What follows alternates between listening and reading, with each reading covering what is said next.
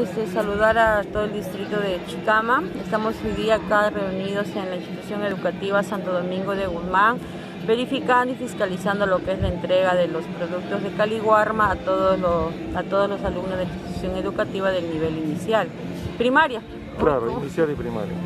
Ahora, este, es perfecta. Eh, sí habla también la presencia de hoy un comité de, transparencia y vigilancia ciudadana. ¿Cómo ha coordinado usted el trabajo para que se haga este, esta mañana acá? Bueno, se ha coordinado con, con la directora, eh, con, también con ellos, para que hagan la fiscalización y se entregue pues de manera oportuna y de manera este, presencial a los padres directamente de los estudiantes, ¿no? para que no haya, como se dice, terceras personas que vengan a recoger lo que no son de, su, de sus pequeños, ¿no? Porque claro. se ha visto en otros lugares que hay suplantaciones de padres de familia y por eso se está haciendo lo que es esta verificación y la fiscalización. Claro, bueno, eh, acá en, dentro del distrito de Chicama creo que no ha sucedido eso todavía en las instituciones que se viene dando a los productos Caliguarma, ¿no? Sí, gracias a Dios todavía no ha habido, pero hay en otros este, distritos que han habido lo que son las suplantaciones de padres de familia claro. llevando, claro, no, algunos no llevan el DNI y, a, y, asumen que son padres de los niños o que son tíos cuando, y que son familiares. Cuando es requisito indispensable el DNI sí, tanto del tanto, alumno como del Exacto, padre. el DNI del padre con el DNI del estudiante, así tengan uno o dos niños dentro de la institución, tienen que traer porque son requisitos indispensables para que puedan, en este caso, registrar y saber que son los padres, ¿no? Claro.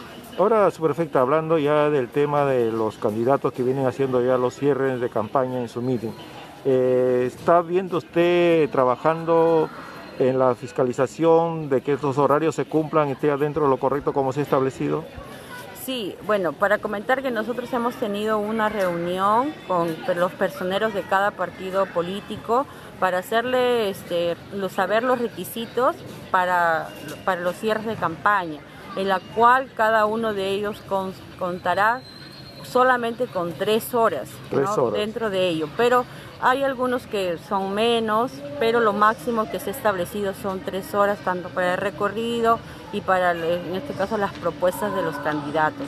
También se les ha pedido a cada uno de ellos de que evitemos lo que son los juegos pirotécnicos, ya que sabemos que estamos con una inseguridad ciudadana en la cual este, se está cumpliendo pero hubo un percance no en el primer cierre de campaña pero se ha subsanado y se le ha conversado que por favor no lo haga nuevamente porque ya tendrá que saber pues se acogerá a las, a las sanciones que se le corresponden. Claro.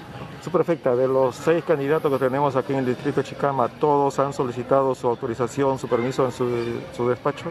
No, no, este, solamente hay cuatro partidos políticos que han solicitado lo que son sus su autorizaciones, sus permisos en la municipalidad y de igual manera pues después le han solicitado las garantías en lo que es en la prefectura provincial. Solo cuatro de ellos. Los otros dos, unos dijeron que no iban a hacer no cierre a hacer de campaña, su, no, y otros solamente iban a hacer lo que son un recorrido nada más. ¿Nos puede decir quiénes son esos dos candidatos? Eh, uno es este trabajo más trabajo, el que solamente iba a hacer recorrido, y el otro es Avanza País. País esos dos candidatos no van a hacer, no van a hacer su cierre, de, de campaña. No. Muy bien. Bueno, algo más que agregar su perfecta sobre este trabajo. Sí, bueno, eh, como sabemos ya estamos próximos a, le, a, las elecciones. Sería bueno que los, los pobladores, los ciudadanos nos informemos de cada plan, de cada partido político y como decir, emitamos un voto responsable. Es lo único. Muy